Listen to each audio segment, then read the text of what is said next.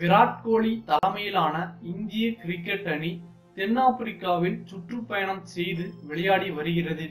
Test தொடரில் முதல் இரண்டு போட்டிகளில் வெற்றி பெற்ற தென்னாப்பிரிக்க அணி தொடரையும் கைப்பற்றி விட்டது. இவ்விரு அணிகளுக்கு இடையேயான கடைசி மற்றும் மூணாவது டெஸ்ட் போட்டி ஜோகன்ஸ்பர்க்கில் இன்று தொடங்கியது. இந்திய அணியில் இரண்டு மாற்றங்கள் செய்யப்பட்டன. ரோஹித் சர்மாவுக்கு பதிலாக ரஹானே சேர்க்கப்பட்டார். அஸ்வின் நீக்கப்பட்டு புவனேஸ்வர் குமார் மீண்டும் களமிறங்கினார். டாஸ் வென்ற இந்திய அணி பேட்டிங்கை தேர்வு செய்தது.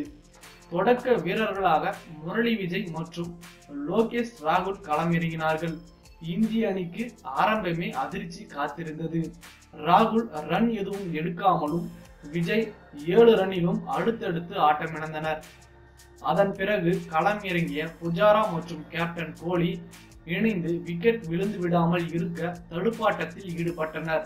அதிலும் புஜாரா கடுமையான நிதானத்தை கடைபிடித்தார். முதல் ரன் எடுக்கவே அவருக்கு ஐம்பத்தி நாலு பந்துகள் தேவைப்பட்டன. இவர்களின் பொறுப்பான ஆட்டத்தால் இந்திய அணி மெல்ல மெல்ல நிமிர்ந்தது. கோலி அரை சதம் அடித்தார்.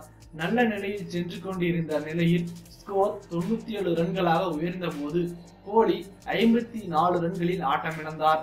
அதன் பிறகு இந்தியா மீண்டும் வீழ்ச்சி பாதைக்கு சென்றது. எதிர்பார்க்கப்பட்ட ரஹானே எட்டு ரன்னிலும் பட்டேல் இரண்டு ரன்னிலும் வீழ்ந்தனர். அரை சதத்தை கடந்த புஜாரா ஐம்பது ரன்னுக்கு அவுட் ஆனார். ஹர்திக் பாண்டியா டக் அவுட் ஆனார். பந்து வீச்சாளர் புவனேஸ்வர் குமார் சிறிது நேரம் போராடி முப்பது ரன் சேர்த்தார். இந்திய அணி முதல் இன்னிங்ஸில் நூத்தி எண்பத்தி ஏழு ரன்களுக்கு ஆல் அவுட் ஆனது. எழுபத்தி ஆறு புள்ளி நாலு ஓவர்களை சந்தித்த இந்திய அணி ரன் வேகம் மிக குறைவாக இருந்தது. இதைத் தொடர்ந்து தென்னாப்பிரிக்க அணி முதல் இன்னிங்ஸை தொடங்கியது.